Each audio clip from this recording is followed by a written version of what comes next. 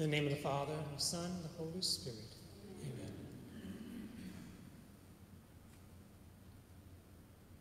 Brethren, let us call to mind our sins and so prepare ourselves to celebrate these sacred mysteries.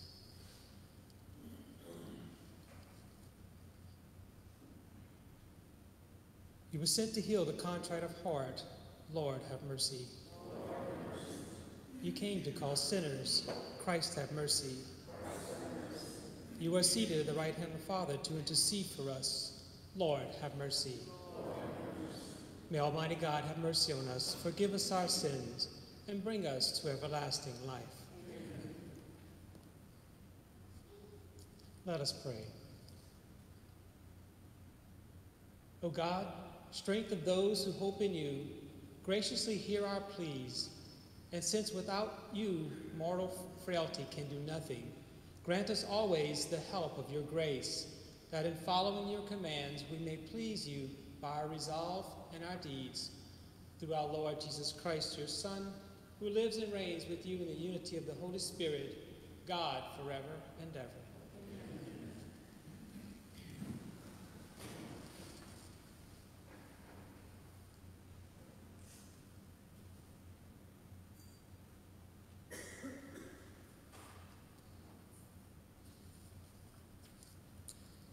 A reading from the second book of Kings.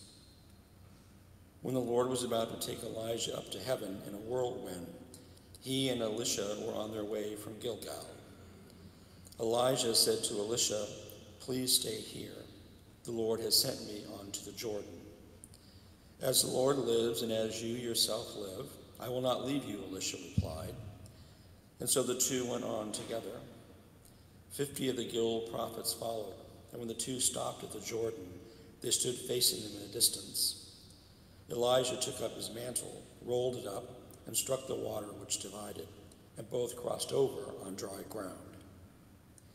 When they had crossed over, Elijah said to Elisha, Ask for whatever I may do for you before I am taken from you. Elisha answered, May I receive a double portion of your spirit? You have asked something that is not easy, Elijah replied. Still, if you see me taken up from you, your wish will be granted, otherwise not. As they walked on conversing, a flaming chariot and flaming horses came between them, and Elijah went up to heaven in a whirlwind. When Elisha saw it happen, he cried out, My father, my father, Israel's chariots and drivers. But when he could no longer see him, Elisha gripped his own garment and tore it in two. Then he picked up Elijah's mantle that had fallen from him and went back and stood at the bank of the Jordan. Wielding the mantle that had fallen from Elijah, Elisha struck the water in his turn and said, Where is the Lord, the God of Elijah? When Elisha struck the water, it divided, and he crossed over. The word of the Lord.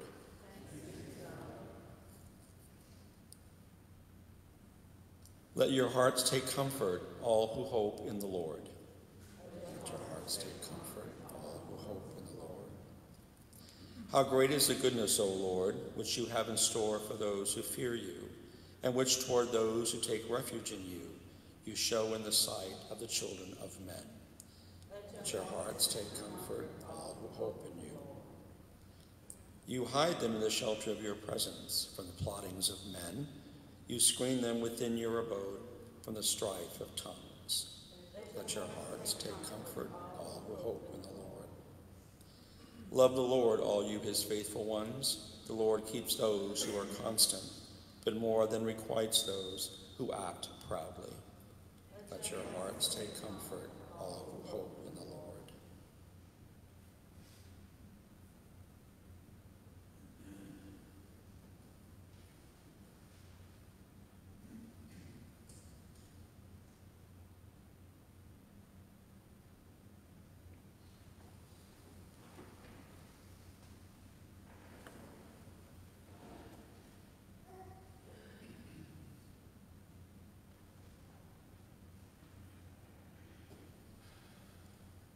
Alleluia, alleluia.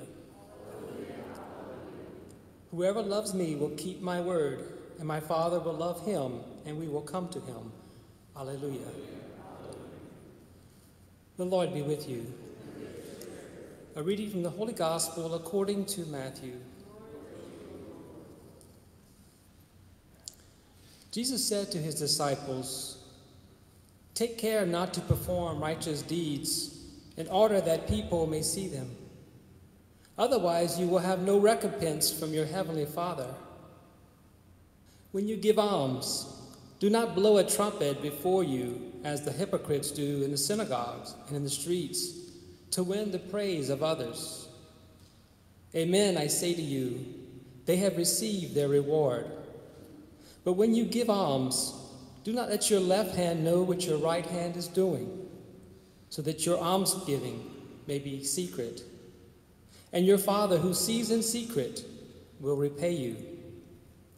When you pray, do not be like the hypocrites who love to stand and pray in the synagogues and on the street corners, so that others may see them. Amen, I say to you, they have received their reward. But when you pray, go to your inner room, close the door, and pray to your Father in secret. And your Father who sees in secret will repay you. When you fast, do not look gloomy like the hypocrites. They neglect their appearance so that they may appear to others to be fasting.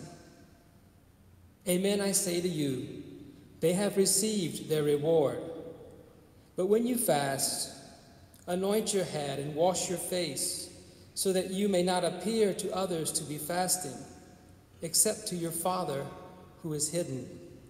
And your Father who sees what is hidden will repay you. The Gospel of the Lord.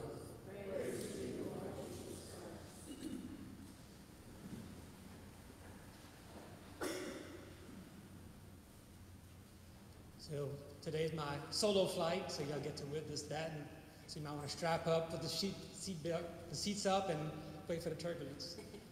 Um, so it's been a good few weeks since our nation. So just having the opportunity to come back here and actually be in charge uh, is kind of different. But uh, I'm really happy to be here today. And I was reflecting on the readings, and I remembered something I learned from philosophy that said, if a tree falls in the woods, does it make a noise? So unless someone's there, you would really not know, right? Um, and we can never really answer that question, but the question is, when something happens in secret, does someone know? And I, I was thinking of coming from New Orleans, you know, you come up to a red light if you had to go coming back late from, from Church Point, getting back there, or you come to a red light and it's, you know, do you stop at the red light when there's no one around? And they say if you stop, that's usually a good sign of an ethical person. You're doing what is right when no one is looking. However, a lot of times we do things because people are looking. Like you get a new job, you want to impress people. You want to impress the boss. You uh, dating, you want to impress this person. You want them to see the best side of you. And I think this is kind of what Jesus was getting to is like, what is your motives? When we're doing these things, what is our motive? And in the gospel today, he's referring to these pious acts of of almsgiving and prayer and fasting, which were required for the, for the Jews. In fact, when he says, when you do these things, he didn't say if you fast or if you give alms. He says, when you give alms, when you fast, when you're praying. So these were required to do. But he refers to the, the hypocrites. So the Pharisees, they were the ones that, that followed these 613 commandments to the T. They wanted to make sure everyone saw them do them because that's how they were known for, to be righteous, because they were doing all these things. And Jesus is addressing this issue because he says, when you do this, don't be like the hypocrites. When you're giving alms, don't blow a horn to let everybody know, hey, I'm giving alms, look at me. Or when, you, when you're fasting, don't neglect your appearance so that you look like you're fasting. But he wants you to do these things because they have good value in growing in, in holiness and piety because each of these can help us. When we, if we're struggling with uh, eating too much or food, fasting actually helps us detach from these things that we become so attached to in this world. So fasting, prayer, helps us to know what's in our heart. where is our heart? Or what is on the altar of our heart? What's most important to us? When we pray, that brings us back to God, who is the center of everything for us. when we're, we're um, giving alms, these are required. Jesus says when he comes again, he's going to judge us by what did we do for other people. He says, when I was hungry or thirsty, naked, you know, did you clothe me? All these things are going to be required of us. So these almsgiving are required. But the key is, is how are we doing it? What's our motive? Are we doing them because this is the right thing to do? I see a person in need, I give what they need. I, I know I need to pray, I need to spend time with God because I'm distracted by the things of this world. I spend the time in prayer. I'm, I need to fast because at least twice a week. And this goes back to our early church. They carried this from the Jewish tradition and something called the Didache, which was the earliest writings we have of the church's teachings, says that they fasted on Wednesdays and Fridays because they carried that practice over because it was a good thing. So think for us today is we just need to be aware of our motives. And the church has a tradition of encouraging us to do an examination of conscience at night, taking a few minutes and just reviewing your day and saying, you know, how was how did I do, Lord? You know, did I see you, you know, in this person? Did I did I reach out and serve you? Did I sin? And do I need to repent? And and just taking that moment in the evening just to reflect, what was my motives in that?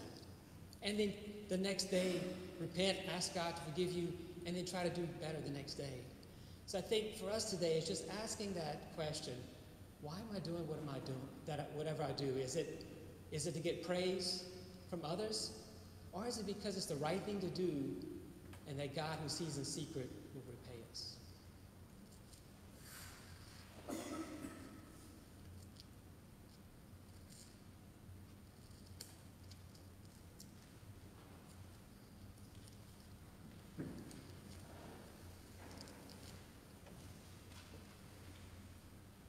We're going to pray the prayer of St. Joseph.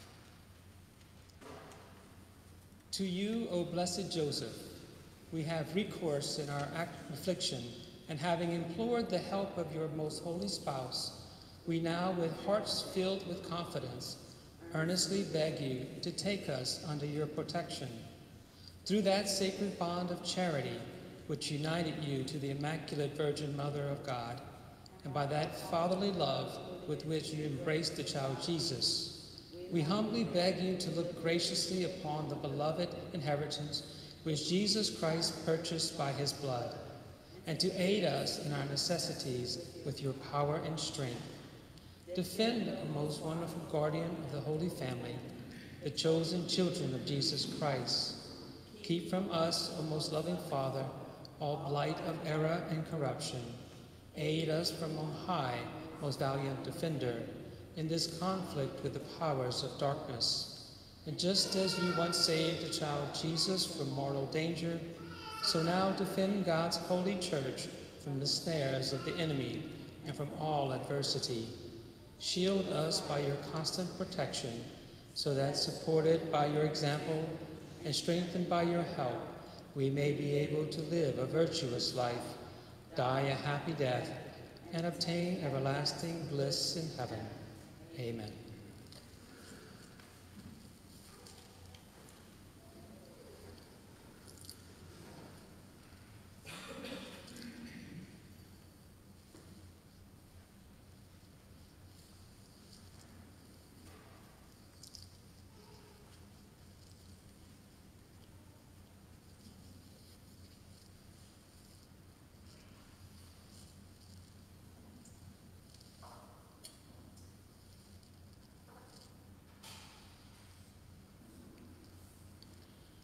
Blessed are you, Lord God of all creation, for through your goodness we have received the bread we offer you. Fruit of the earth and work of human hands, it will become for us the bread of life.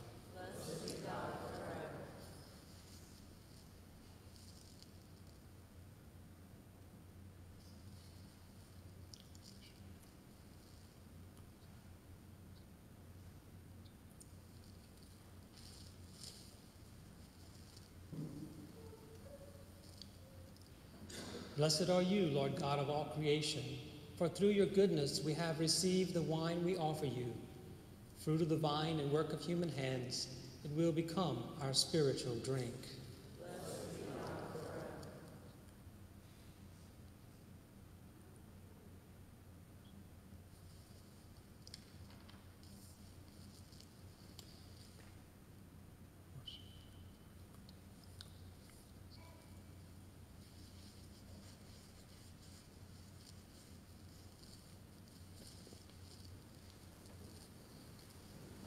Pray, brethren, that my sacrifice and yours may be acceptable to God, the Almighty Father.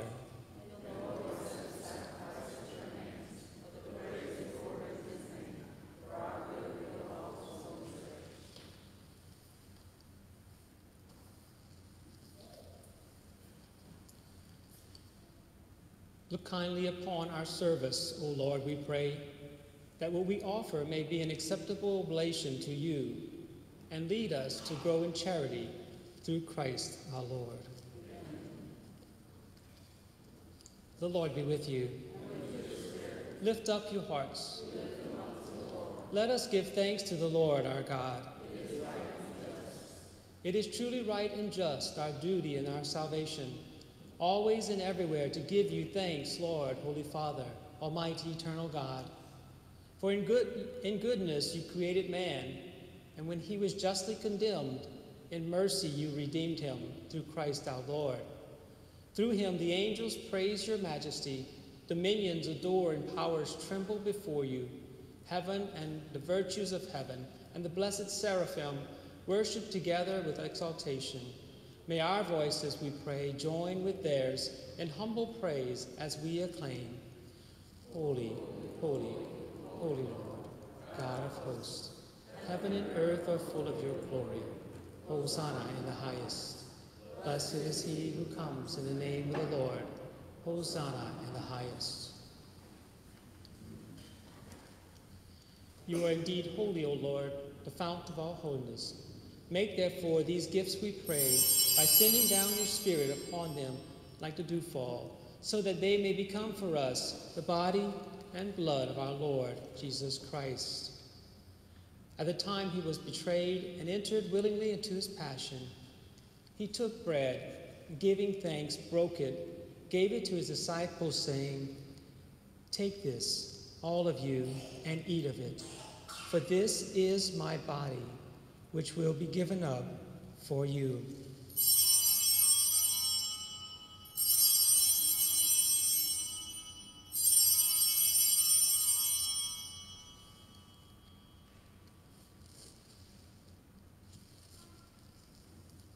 In a similar way, when supper was ended, he took the chalice, and once more giving thanks, he gave it to his disciples, saying, Take this all of you, and drink from it. For this is the chalice of my blood, the blood of the new and eternal covenant, which will be poured out for you and for many for the forgiveness of sins. Do this in memory of me.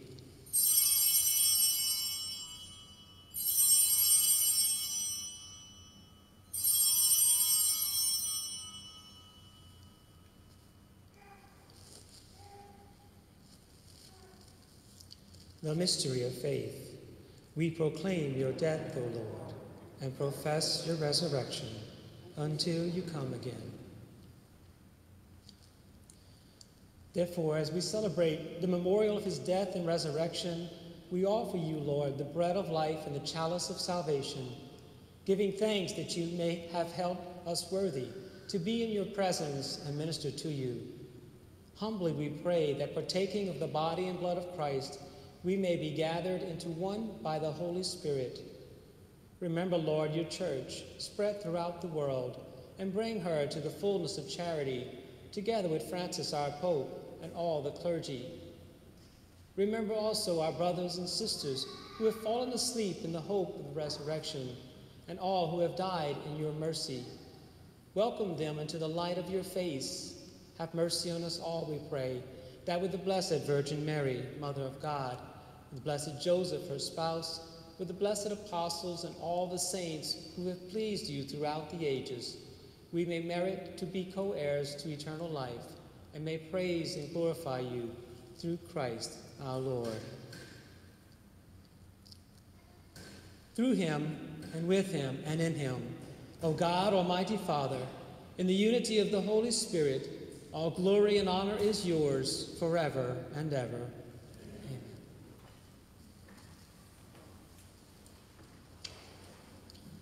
At the Savior's command, informed by divine teaching, we dare to say, Our Father, who art in heaven, hallowed be thy name.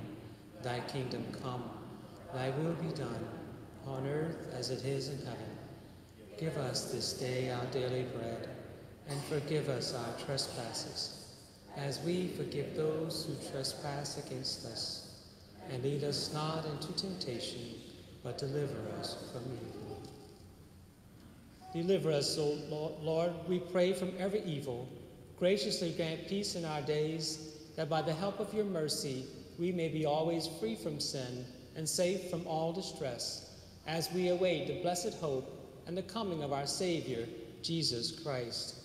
For the kingdom, the power, and the glory are yours, now and forever. Lord Jesus Christ, who said to your apostles, Peace I leave you, my peace I give you. Look not on our sins, but on the faith of your church, and graciously grant her peace and unity in accordance with your will, who live and reign forever and ever. The peace of the Lord be with you always. Let us offer each other the sign of peace.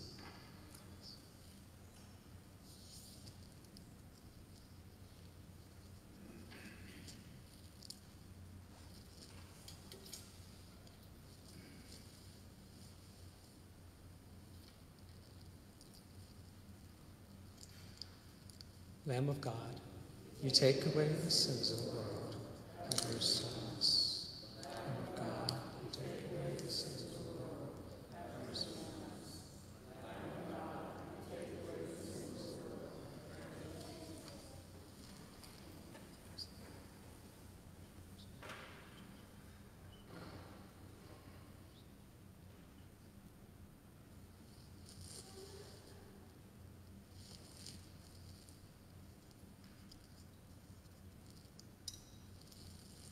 Behold the Lamb of God.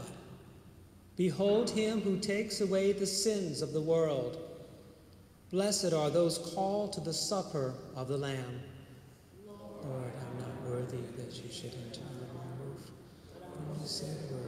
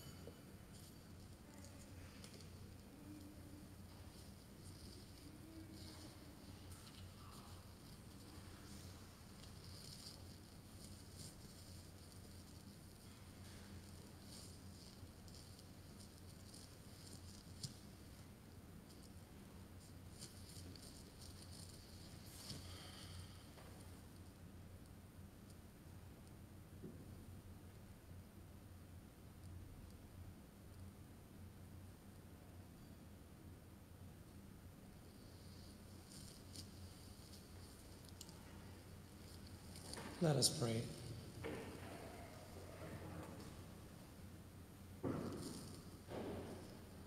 As this reception of your Holy Communion, O Lord, foreshadows the union of the faithful in you, so may it bring about unity in your church through Christ our Lord. The Lord be with you. May Almighty God bless you, the Father, and the Son, and the Holy Spirit. Go in peace, glorifying the Lord by your life. Saint Michael, the Archangel, defend us in battle. Be our protection against the wickedness and snares of the devil. May God rebuke him, we humbly pray. And to the hour praise of the heavenly hosts, the power of God, is in heaven. It's the power of the world, seeking the ruin of souls. Amen. Remember, O most gracious Virgin Mary, and never was it known that anyone who fled to thy protection, or sought thy intercession, was left unaided. Inspire with his confidence, and to thee, O Virgin Virgins. To thee, the come, who send for us all.